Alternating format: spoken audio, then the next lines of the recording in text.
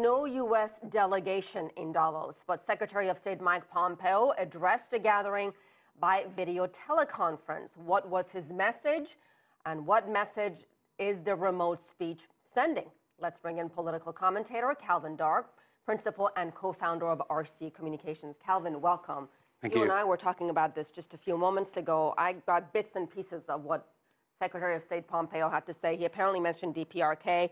I heard him talk about how ISIS has been defeated mm-hmm. and also um, talking about Iran. Uh, was that what this group really wanted to hear? No, and I think for two reasons. One is the part of the speech um, that I saw, you could have taken those talking points from a Trump rally speech because he really made it about make America great again. He even said that. He talked about everything from the tax reform that Donald Trump did to how no one said we could get over 3% growth. I think he said, you know, four straight quarters with that. So it was very um, US centered.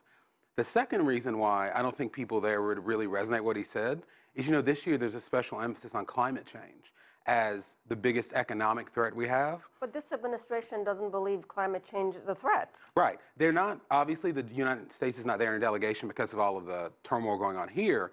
But even if they were, that is a subject that I think the president finds laughable. I think it was just last week when he was saying with the cold snap, maybe we need some good old fashioned global warming. So I think even if it wasn't for like the things that a lot of the bigger countries are going through, the U.S. wouldn't play a really central role in climate change, which is a major um, theme for this economic forum.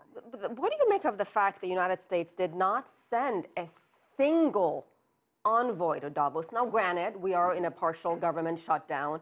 Mm-hmm. And uh, many world leaders are not there. Theresa May is not there. Mm-hmm. Macron of France is not there. President Xi is not there. So I don't want to just single out the United States, but all right. these other countries at least have representatives at right. Davos. The United States does not appear to have even a single representative. Mm-hmm. What kind of message does that send?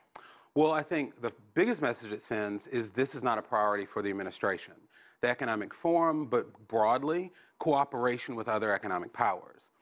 I think something that Americans and I guess everyone in the world following it should take from this is the reason there's no delegation is because of the feud between Donald Trump and Nancy Pelosi, how she was taking a delegation to Afghanistan. Then the tit for tat was, well, you can't send Secretary Mnuchin and everybody to Davos. That's why that is. But think about it the whole shutdown over the wall is not only causing turmoil here, but now it's taking the U.S. literally off the world stage, because even Pompeo is doing it by video. So I think we just need to realize how much these, whether it be in with Brexit or with the yellow vest in France or with the shutdown here, these domestic problems in these world powers affect everybody. Let me move on to the actual gathering at Davos. And mm-hmm. while these world leaders we mentioned are not going to be there, one president who will be making his grand debut is Brazil's president, Jair Bolsonaro, who's often been referred to as Trump of the tropics. He's right. supposed to make the keynote address. Mm-hmm. Um, what do you think? How is he going to be received in this gathering? I mean, he's been criticized for some of the controversial comments mm-hmm. he's made, similar to President Trump. Well, I think here's what I think of Bolsonaro. After speaking with some of my friends who live in Brazil, they said a difference between the Trump of the tropics and the Trump of Pennsylvania Avenue is while the rhetoric may be the same, he's a career legislator and government person. So he knows what actions, what real actions have to take. It's just not words. And I think in any other time, that would be the major headline. What is Bolsonaro going to do now that he's on the world stage, now that he's not just running for president, but that's leading one of the world's biggest economies? The only thing I can say that kind of just made me smile is when I was watching him arrive he got off of, you know, the Brazilian plane, but he's dressed very like, it looked like a reporter. And he's very much that image of populist, man of the people. And I was even laughing. I said, he looks like somebody who just landed at the airport and is waiting for his taxi. but once again, that's going to get overshadowed by all the other things that's going right. on. All right, we'll leave it there. Calvin Dark, thank you so much.